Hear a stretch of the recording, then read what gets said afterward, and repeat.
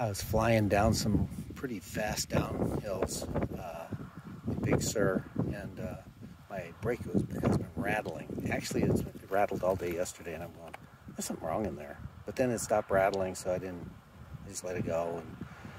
And when you're going down steep hills like that, and you hear your brake rattling, you stop and you look. Anyway, uh, I stopped and I looked, and here's my brake. It's all loose, uh, so I gotta tighten it down. I, I, I think I have to get some Loctite on all my bolts. They keep coming loose. My yesterday my rack was loose. I had to readjust it all and tighten it down. I don't know what's going on here on this trip. Everything has been going wrong.